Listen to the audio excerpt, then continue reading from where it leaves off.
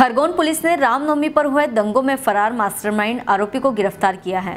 दस हज़ार रुपए का इनामी अपराधी 30 वर्षीय शमी अल्लाह पुत्र नसरुल्ला खान को खलटाका और बाल समुद के बीच से गिरफ़्तार किया गया।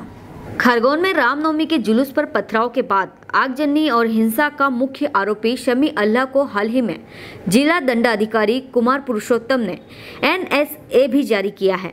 आरोपी 10 अप्रैल को खरगोन शहर में रामनवमी के जुलूस के दौरान पथराव, आगजनी और हिंसा के बाद से ही फरार था, जिसे गिरफ़्तार किया गया है। अब रिमांड लेकर पूछताछ की जाएगी। खरगोन से जयंत गुप्ता की रिपोर्ट। देखिए समी उल्ला आरोपी है।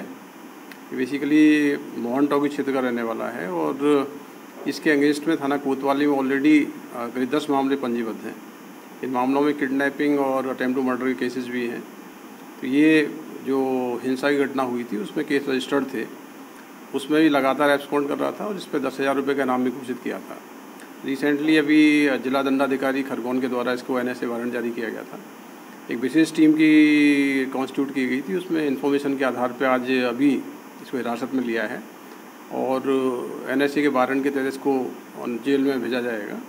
इसके बाद इसके अगेंस्ट जो केस रजिस्टर्ड हैं, उनमें अलग से रिमांड लेके इसको इन्वेस्टिगेट करेंगे। दंगे के टाइम की क्या भूमिका आई है सामने इसकी। एक महत्वपूर्ण अपराध आगजनी और बलवे का रजिस्टर्ड है जिसमें एक नामजद अपराधी है। बाकी अन्य घटनाओं में इसकी किस प्रकार की संलिप्तता रही है इसको रिमांड लेके इन्वेस्टिगेट करेंगे तो समझ में आएगा। हेलो फ्रेंड्स आप देख रहे हैं हमारा channel S W twenty four news हमारे सारे वीडियो सबसे पहले देखने के लिए आप हमारे चैनल को सब्सक्राइब करें और पास में लगे बेल आइकन को दबाना बिल्कुल भी ना भूलें।